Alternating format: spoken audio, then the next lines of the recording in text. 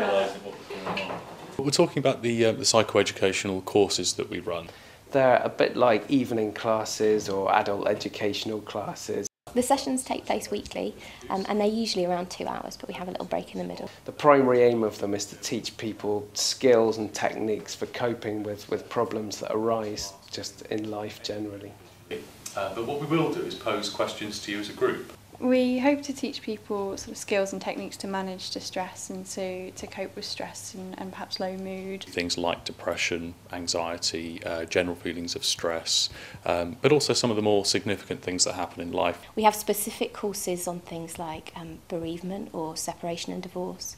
Suffering is part of life um, and it's just about trying to minimise that and enable us to function um, well people often come along expecting it to be something like group therapy, but in group therapy, people would be talking specifically about their personal issues, and that's not something that we ask people to do on our courses. There's no pressure on anyone to say anything at all. You could come to any one of these courses and, and, and literally not speak if you didn't want to. This is a really nice way for people to get information, to learn how to cope, but without having to, to open up to anybody. There's also something really great about uh, being amongst other people that are going through similar types of difficulty. Typically, yeah. We'd have maybe around 15, 16, 17 people um, in a room with a flip chart and two facilitators. obviously from one session you're not, not going to go away and change your whole life but it's just about making small and sustainable changes to our life to hopefully limit the distress that we experience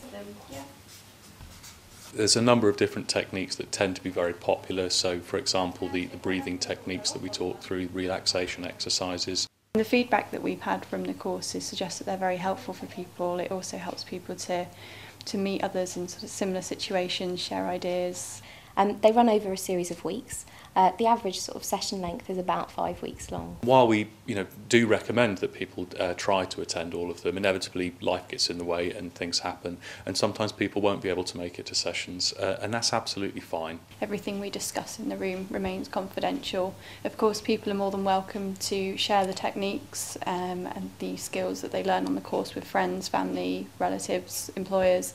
That's absolutely fine. Sometimes people find that actually it's not even during the course, but sometimes a few weeks or months later when they've been just reflecting on, on their own issues, if you like, in relation to some of the things that they learn, that they start to actually um, gain a, more of an awareness of, of some things which are going on in their lives and are able to implement changes which can have a useful impact to themselves. Of course, some people do feel a bit awkward, a bit shy about coming along, um, but actually what people find is that once they're sat in a room full of other people who are, are experiencing similar difficulties, then they actually start to feel a lot better and feel less alone in, in their suffering.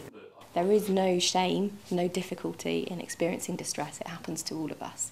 And the better place we can be to cope with that distress, the better um, and the better able we are to move forward with our lives.